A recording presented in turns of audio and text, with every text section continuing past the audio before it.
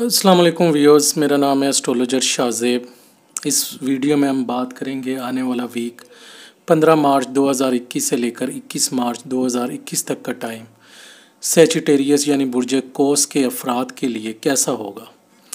तो सबसे पहले अगर हम हेल्थ पॉइंट ऑफ़ व्यू से देखें तो आप लोगों के लिए हेल्थ के लिहाज से काफ़ी अच्छा टाइम है, लेकिन आपको अपने मनफी ख्याल से प्रेज़ करने की ज़रूरत है और पॉजिटिव सोच रखें।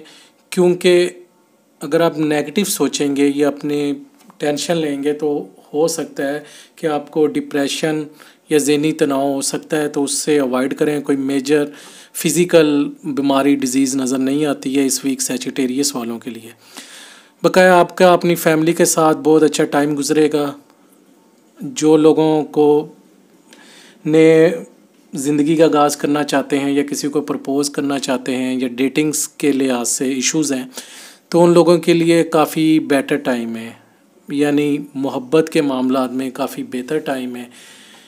और अगर किसी के अपनी फैमिली में झगड़े थे या कोई इश्यूज़ थे तो उन वो भी रिज़ोल्व होने का बहुत अच्छा टाइम है। आप उन चीज़ों को जो डिस्प्यूट्स हैं या कन्फ्लिक्ट्स हैं आपके अपनी फैमिली मेंबर्स के दरमियान, वो आप ख़त्म कर सकते हैं।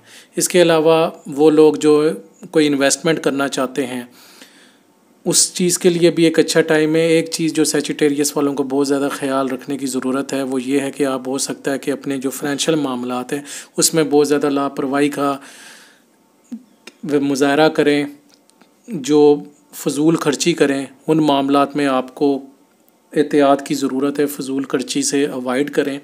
वैसे कोई मेजर फाइनेंशियल इशू नज़र नहीं आता है।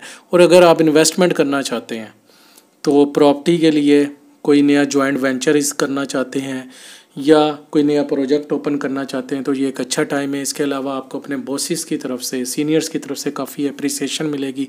जो आपके पेंडिंग प्रोजेक्ट्स थे, वो इस वीक में कंप्लीट होते हुए नज़र आते हैं। इसके अलावा जो आपके, कह लें कि प्लान्स थे, या जो आपने कोई इन्वेस्टमेंट्स की थी, उनका भी एक बहुत अच्छा आउटपुट नज़र आ रहा है कि आपको मुनाफा होगा। और इसके अलावा जो लोग जॉब्स करते हैं, उनको इंक्रीमेंट मिल सकता है बोनस मिल सकता है प्रमोशन मिल सकती है।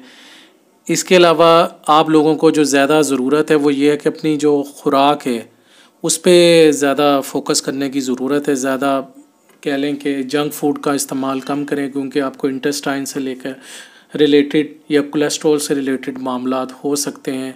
इस पर आपको एहतियात करने की ज़रूरत है। तो व्यूज़ ये था वीकली हॉरोस्कोप सेचिटेरियस के लिए। होप कि आपको पसंद आया होगा। तो हमें आपके फ़ीडबैक का इंतज़ार रहेगा। शुक्रिया।